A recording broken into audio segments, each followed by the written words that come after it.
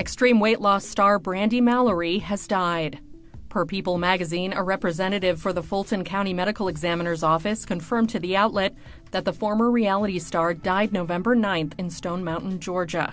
A cause of death was not disclosed. According to an obituary posted online, a memorial service will be held November 19th, with her funeral taking place November 20th. E News has reached out to the Fulton County Medical Examiner's Office as well, but has yet to hear back.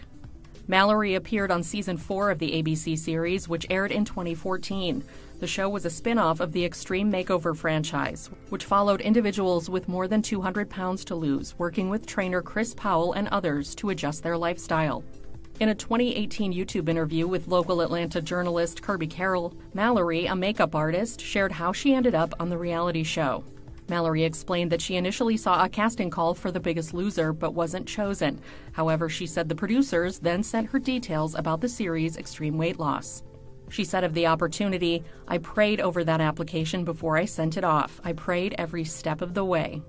In the interview, Mallory also explained that she was prompted to pursue weight loss after the death of one of her sorority sisters at the age of 29. She recalled, I was literally waking up every day like, this may be my last day waking up. Like, I don't know what's going to happen for me. When it's playing on your mind that I might need to do something about my weight because I'm afraid I might die too, then you might need to pay attention to something like that. Mallory continued her fitness journey through dance. She often shared her passion for makeup and fitness with her followers on Instagram. The 40 year old shared her final post on November 3rd.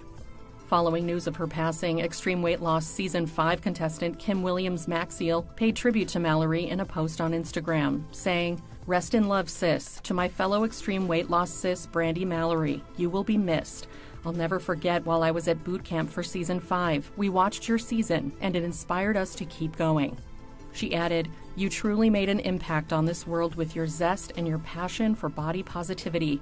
I'm blessed to have gotten to experience you in this world.